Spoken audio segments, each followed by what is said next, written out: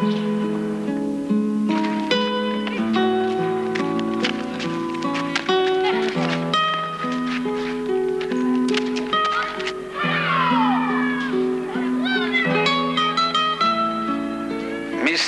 na futbol i sanjam da sam gol dao, da sam ono... Iskačem po noći do ga udaram, sam sa sobom pričam. Htio ovaj FIFA da mi zabrane da imam smrtni šut. Loptom sam udario. U mecu je nogo te pao mrtav ćeo, ljučici je slomi nogu, pa dao foru i onda se ga... Koliko se li izdušili ga izdušili, rekao kao gumu, I loptom ga pogodio. Tumora je odmah u slačionici. Niti mu znam ime ni prezime. Ja, kamarcina neka veš. I zato vi poslije nisi dali da ima smrtni šut. Ja onda me rekao penzioništi.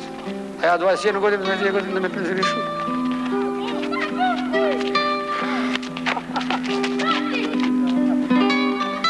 Ja zatražio da mi dadu penziju kao zaslugu žnom sportisti. Odbili su me. I što sam, ja sam se povukao, molim. Ja da se s njima borim, je sa rogatim teško se boriti. Čak sam morao 83 puta da idem na ti komisijama da dokažem da mi treba pomoć i kućna njega. I da to sam šetao ulicama, razumiješ, kreten.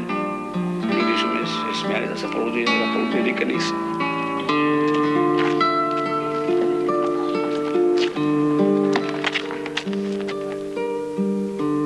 Ovo je moje carstvo.